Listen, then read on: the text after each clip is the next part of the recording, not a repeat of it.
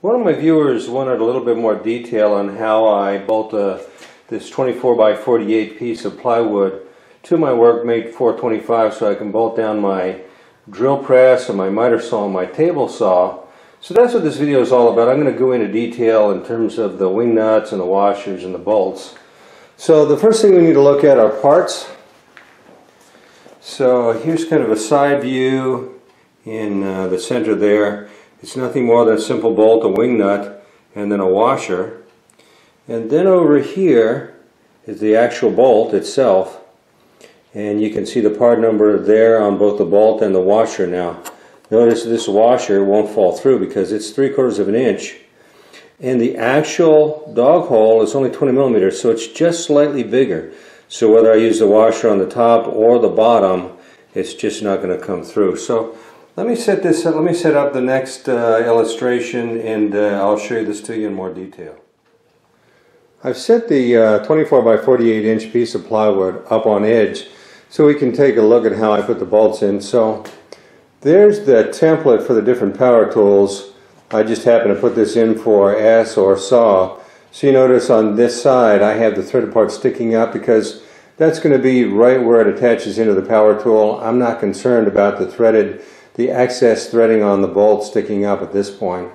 But for those uh, bolts I use to tie down to the bench, I want the threaded part below so nothing's sticking up and going to get in the way of the work that I'm doing on the top. So let's look at the back side of the bench.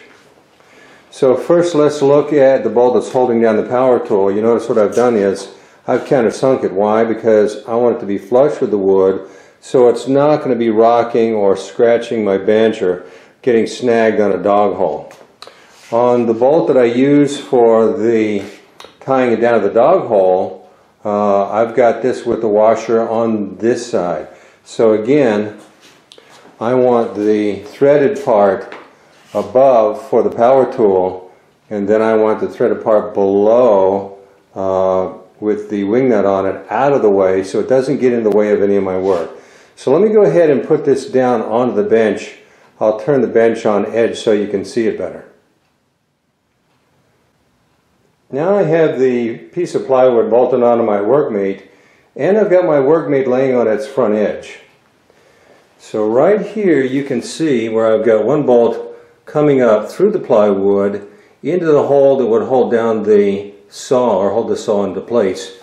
And then I've got two bolts that are designed to go down through the dog holes with the washers and wing nuts on the other side. So let's look at this guy first.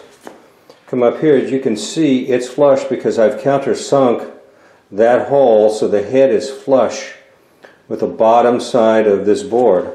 Whereas on these guys, they do pass through and you can begin to see the washers and the wing nuts for both of those. So let's come around to the other side, take a closer look. And right here you can see the washer will not pass through the dog hole, which is only 22 millimeters, excuse me, 20 millimeters, while the washer's three quarters and just a little bit bigger. And I've got the excess threading down to the bottom so it's not in the way. Okay? So back to this side again, I've got the thread sticking up on the one that would hold down the power tool and then I've got these guys down uh, almost flush with the top so they don't get into the way. So I hope this answers your questions about attaching the plywood to your Workmate 425. If you have any further questions, please don't hesitate to ask, just put them in the comments. I'm also going to put the other links related to this same concepts same concept into the description below. So that'll give you a quick access to those. Um, if you found this video useful, please press like. If you're not already a subscriber, I would love to have you as a subscriber. And as always, good luck on your projects.